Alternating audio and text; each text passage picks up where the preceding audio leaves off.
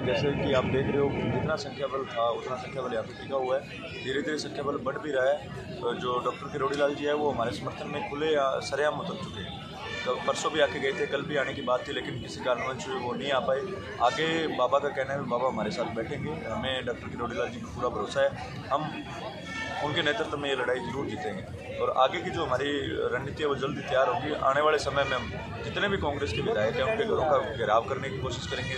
उनके घरों के बाहर ढोल बजा के ऐसा कुछ करके उनको जगाने की कोशिश करेंगे। रणनीति हमारी तैयार हो रही है। ये आंदोलन तब तक चलेगा जब तक हमें नौकरी नहीं मिल जाती। सरकार के मन में अगर कोई मंशा है तो वो निकाल दे।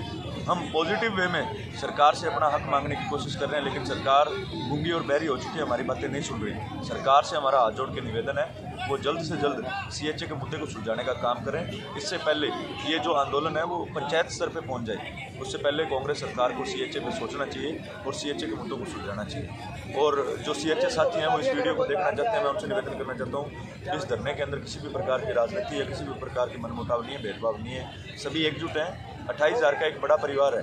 जब परिवार बड़ा होता है तो उसमें विचार कई तरीके के होते हैं और जब दो तरीके के विचार आमने सामने आते हैं तो टकराव की स्थिति पैदा होती है, ये लाजमी है। और इसको गलत वे में नहीं लें। परिवार है, परिवार एकजुट है। जीतेंगे, ज़रूर जीतेंगे, यहाँ से जीत के जाएँगे। आप ज़्यादा से ज़्यादा संख्या में साथी जो इस वीडियो को देख रहे हैं, वो शहीद स्मारक में पहुँचने का काम करें, ताकि इस लड़ाई को मजबूती से लड़ सकें और हमारी जीत निश्चित हो।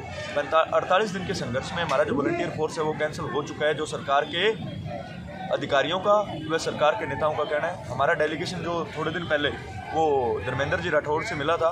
उनका भी कहना था, वो आठ हज़ार लोगों को सुविधा कैडर में, पहले चरण में शामिल करने की बात रख रहे थे, जो बात हमारे द्वारा साफ़ शब्दों में नकार दी गई। हम जाएँगे तो अट्ठाईस हज़ार को नौकरी दिलवा के लेके जाएँगे। अगर सरकार रीट वालों के पद दुगने कर सकती है तो वो अट्ठाईस हज़ार लोगों को नौकरी भी दे सकती है। हम अपनी लड़ाई मजबूती से लड़ रहे हैं, मजबूती से लड़ते रहेंगे। किसी प्रकार के मनमुटाव नहीं है, पूरी कार्यकारिणी एक है, सभी साथी एकजुट हैं, आप यहाँ पे आएँ और इस लड़ाई को मज़बूत करें। धन्यवाद।